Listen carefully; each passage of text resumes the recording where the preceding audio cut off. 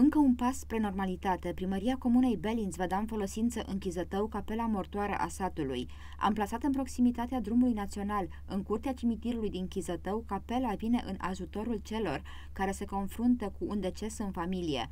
A fost proiectată astfel încât să respecte cele mai înalte standarde. Capela este compusă din sală mare mortoară, două grupuri sanitare, dar și o cameră de protocol, care poate fi folosită de către cei îndurerați pe parcursul evenimentului. Încălzirea și climatizarea încăperii se asigură prin trei aparate electrice. După realizarea construcțiilor celor două capele, Belin și Chizătău, urmează ca administrația locală să pregătească documentațiile necesare, apoi implementarea pentru satele Grun și Bapșa din comuna Belinț.